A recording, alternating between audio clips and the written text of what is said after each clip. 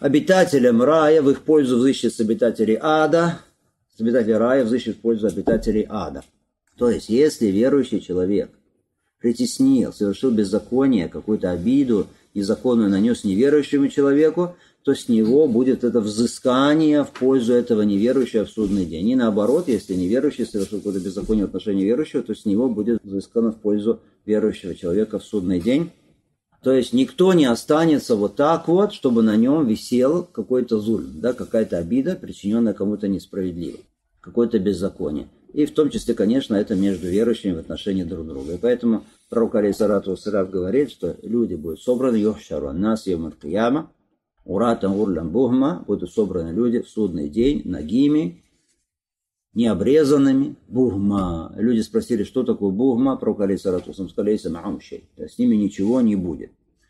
Сумма юнадим бисаутин ясмау ман бауда, кама ясмау ман каруба. А потом возовет к ним Аллах Субхану Ва Тааля голосом, который будут слышать далекие, так же, как слышат близкие.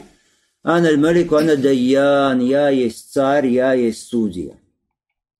ولا ينبغي لأحد من أهل النار أن يدخل النار ولو عند أحد من أهل الجنة حق حتى قص منه. И не подобает никому из обитателей ада войти в ад, если на нем висит какой-то зульм, какое-то беззаконие в отношении кого-то из обитателей рая, пока я не взыщу с него его право.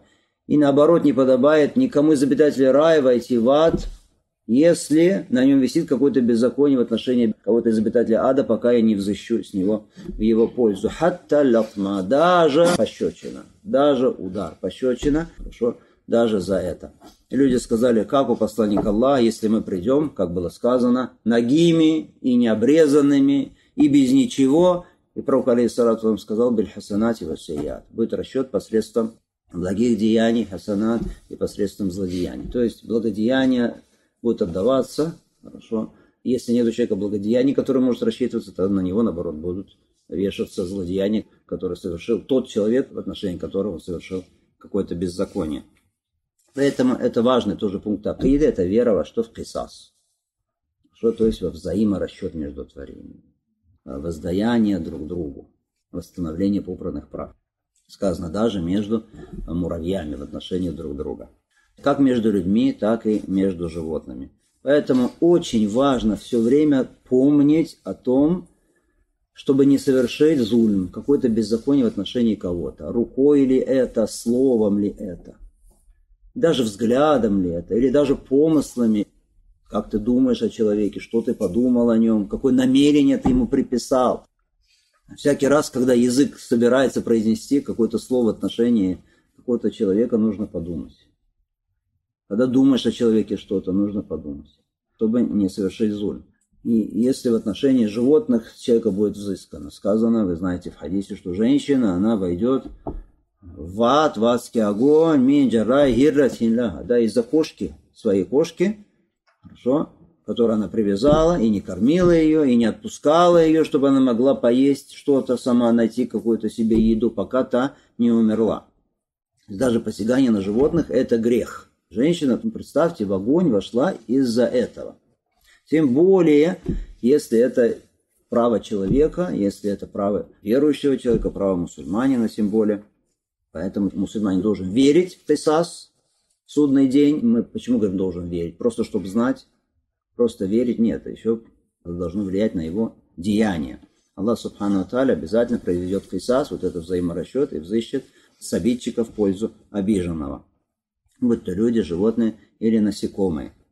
И это касается, мы сказали, не только между верующими, да, вопросов, это касается и поведение мусульманина в отношении неверующего человека. Поэтому пророк Алейсарату сам так предостерег от посягания на немусульман, которые живут с тобой да, в твоей стране, или ты живешь в их стране. Сказано, «Макатар муагадан лям ярих райхата джанна». Да, кто убьет муагада, тот не почувствует даже запаха рая. Почему? Потому что он масум, потому что его жизнь, его имущество, они неприкосновенны. Это вот важное правило – Аят указывает на что? Что призывающий к Аллаху, он должен начинать прежде всего со своих близких, со своей семьи. Ванзир аширатак акрабин. Аллах Субхану Аталя говорит пророку алейхиссалату увещевай твоих ближайших родственников.